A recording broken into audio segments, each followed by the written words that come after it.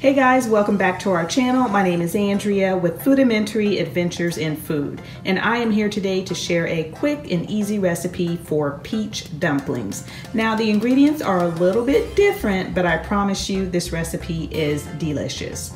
So you are going to need some Sprite. Now you don't necessarily have to use Sprite, but you're, you are gonna need a clear soda. So if you prefer to use 7-Up or ginger ale or even Mountain Dew, you can can. I just have a preference for Sprite. You're also going to need some butter, some sugar, a little flour, a peach, some nutmeg and cinnamon, and crescent rolls. Now, if you wanted to try this recipe with apples instead, you absolutely can. So what I'm going to do now is melt my butter in the microwave and I'm going to peel my peach and then I will bring you guys back to show you how this recipe comes together.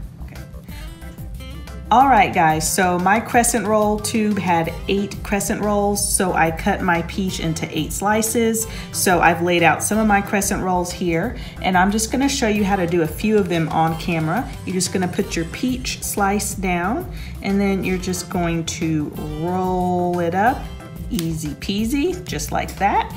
And I'll do another one for you guys. And then I'll do the rest of these off camera. So again, take a peach slice.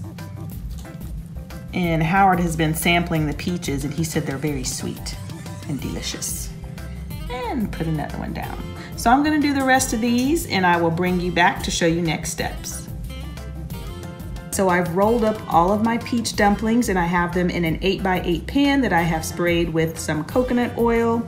So in my bowl, I'm going to combine the rest of the ingredients. I have some flour, I have some cinnamon and nutmeg, I've got some sugar, and by the way, I'll make sure to um, add the recipe in the description box so you guys can see it.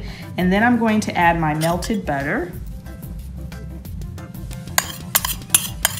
And I'm going to give this a good stir. And that's what it looks like. Kind of looks like applesauce. And I am just going to pour this all over the dumplings. I'm just gonna pour it over.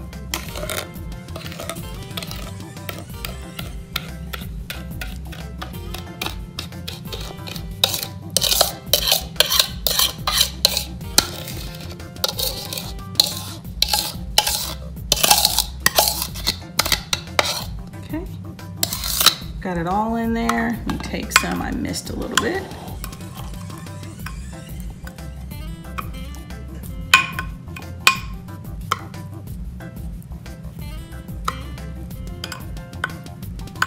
All right, so the last thing I'm gonna do is add my Sprite. Now you don't wanna pour the Sprite directly on the dumplings, you wanna pour it around.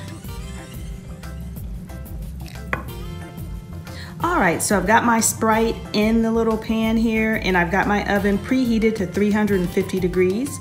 I'm gonna pop these in the oven for about 45 to 50 minutes or until they're golden brown. So I just pulled these out of the oven. You can see it's still bubbling right there. And I baked these for about 45 46 minutes. So I'm gonna let these cool completely and then I will um, take one out of the pan so you guys can see what it looks like. I let this cool for about 15 minutes and I took out a couple of dumplings so you guys could see what it looks like on the inside. So here's one that I cut open. Howard and I have tried these, they're really good. Now I will tell you that I am not a person that, I don't like a doughy dumpling or doughy pie or doughy cookies. These are not doughy. I'm trying to get in close so you can see the flakiness. So the croissant does cook um, all the way through and it is absolutely delicious. So I hope you guys enjoyed this video. If you did, please make sure to give us a thumbs up. And if you haven't subscribed to our channel, I certainly hope you'll do so. Thanks so much for watching and we'll see you guys next time.